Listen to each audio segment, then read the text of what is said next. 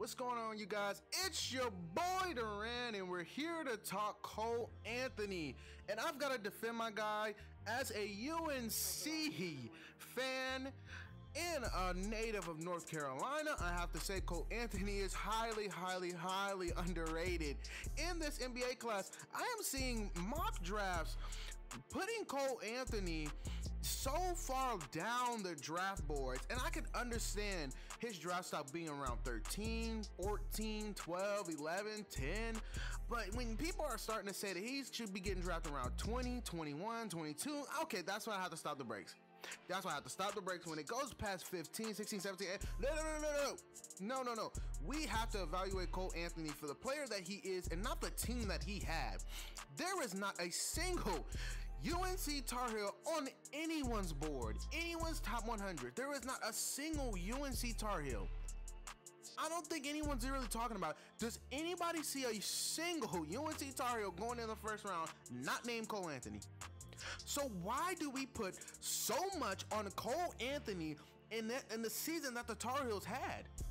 The offense was horrible. Roy Williams has been such an outdated coach for a long time. It, it, it gets so hard to even watch Roy Williams coach. People don't understand, and he will coach until until he goes over, till he doesn't want to do it anymore. And that's what just what we've accepted. But as you can see, Cole Anthony is one of these players that's going to be a better pro than he was a college player. I think a, a, lot of everything that people are saying just isn't true. People are saying that Cole Anthony doesn't make anyone better. The players around him aren't good. Like if you look at the UNC offense, it's not a lot of lot of formations, a lot of moving around. It was abysmal. It was everyone standing around setting picks, and that's it. Like no one rolling towards the basket. Not a lot of plays being run. It was, hey, here you go, Cole. Make something happen for us. And that's not the player that Cole Anthony is. Cole Anthony is a player that plays within an offense, a player that pushes a place, a player that is smart, that, that finds the open man.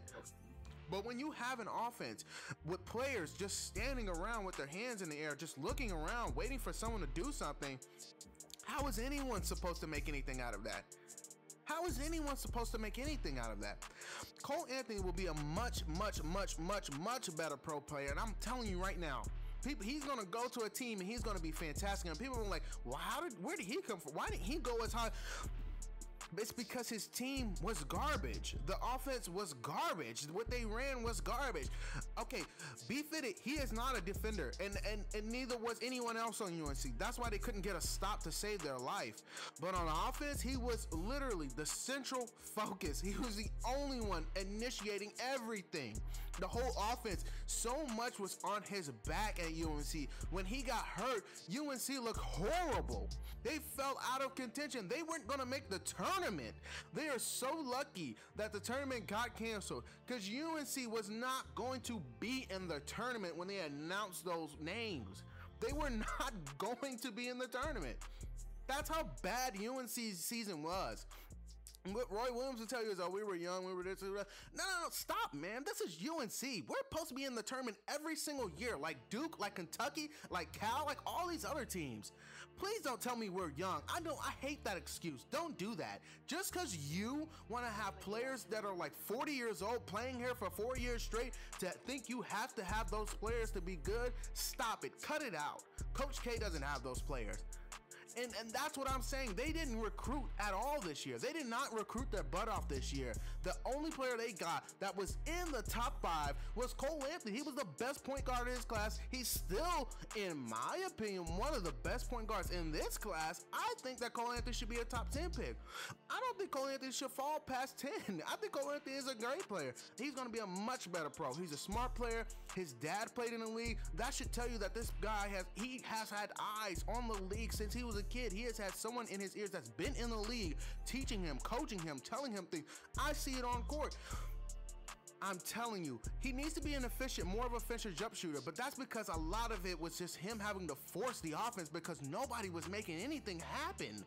A lot was put on Cole Anthony's shoulders to make a lot of things happen for a very bad team. Well, as always, I have nothing left for the video. I think Cole Anthony is going to be a great player, a great player. People are sleeping on him. He's super underrated. Like, comment, and subscribe. Peace.